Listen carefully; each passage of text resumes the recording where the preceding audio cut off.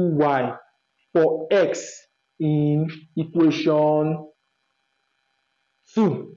Now, this is 7 minus 2y. This is x. I have 3. Where there is x, I will place 7 minus 2y here. Then here I have minus 2y is equal to minus 3. So from here, I will simplify. 3 times 7 is 21.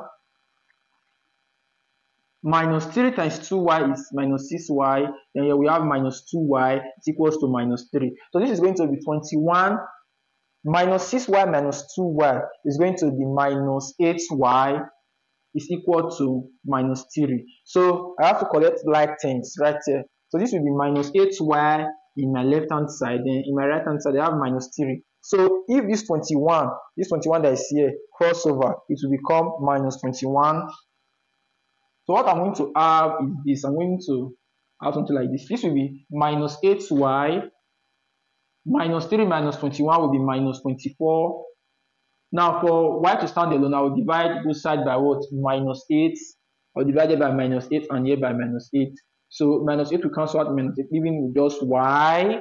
Then minus 8 will divide minus 24. Take note that we have minus and minus sign right here. So this is going to be what? Positive 3. Now we have gotten y as 3. The next thing I'm going to do is that I'm going to substitute uh, uh, 3 for y in equation 3 because I'm looking for x.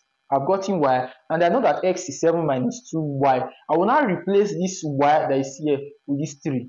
So it means that I'm going to uh, substitute substitute uh, 3 for y in equation 3.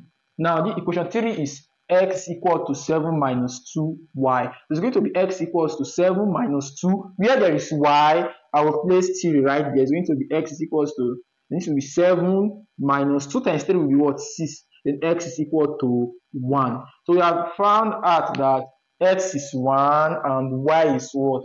Uh, y is 3. Now, I'm going to check if this value 1 and 3 satisfy this equation. Now, I'm going to say, okay, x is 1. So I will replace this x with 1.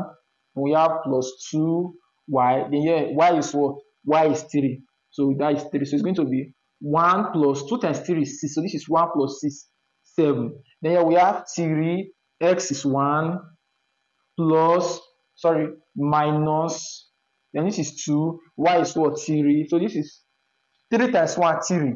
Then this is minus 6. 3 minus 6. That is going to give minus 3. So it means that this value 1 and 3 satisfied this equation. Now, I'll move on to the second